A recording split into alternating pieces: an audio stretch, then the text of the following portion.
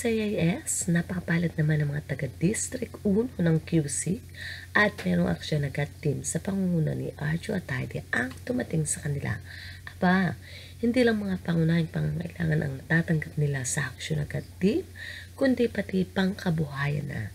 Isang netizen ang nag-post ng kanyang pasasalamat ng matanggap ang pangkabuhayan na ito. Ayon sa post ng netizen na si Sharina Nebrita Esparto, Thank you, Lodi Kong Arjo Atayde. Because I am one of your choices, be given a business package. Hashtag Uncle Pap. I hope you can help a lot from District Uno. I was lucky my future. Oh, bongga, napakaswerte ni girl na nakatanggap nga ng pagkakakitaan. Well, maganda ang ganitong project dahil matututo silang maghanap buhay. Papaloguin na lang ito. Imagine, bigyan ka ng pagkakakitaan mo, super blessing yan. Kaya maswerte ang mga taga-District 1 na dumating nga sa kanila ang isang audio atayde na hangad ay makatulong sa kanila. Samantala, patuloy pa rin ang pag-ikot ng kamera para sa movie na ginagawa nga ni Arjo na siya mismo ang producer. At nakita natin ang ilang mga larawan sa kanilang mga shooting. At eto nga, kasama niya ang mahusay na actress na si Nova Villa.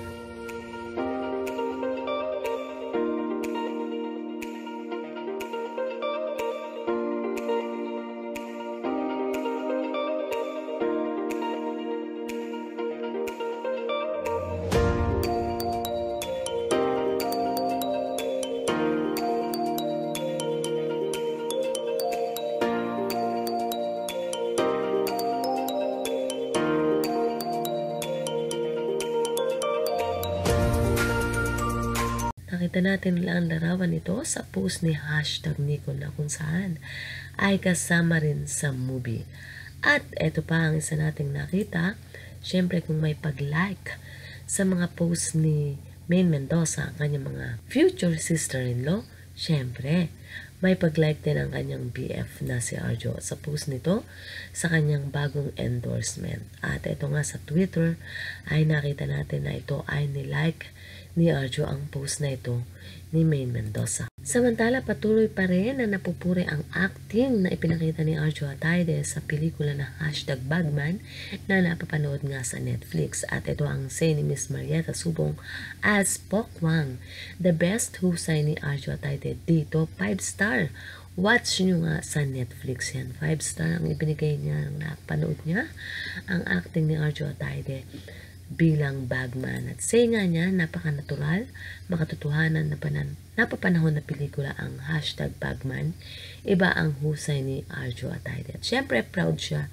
At ito ay nasabi niya sa kanyang kumare na ina naman ni Arjo. At so, yan nga po ang ating mga update kay Arjo Atayde. At yun nga, ano po, hindi lang siya nagbibigay ng tulong, pangangailangan sa Distrito 1, kundi pati pang kabuhayan ay kanyang inilalapit sa mga kababayan natin sa nasabing lugar. At patuloy na nga ang pag-ikot ng kamera para sa movie na kanyang ginagawa at siya nga mismo ang producer. At ito po ang ating update. Ano ang masasabi nyo? Just comment below. At syempre huwag kakalimutan mag-like, share, and subscribe. Hanggang sa muli, lagi kong paalala. Ingat ang lahat. God bless everyone.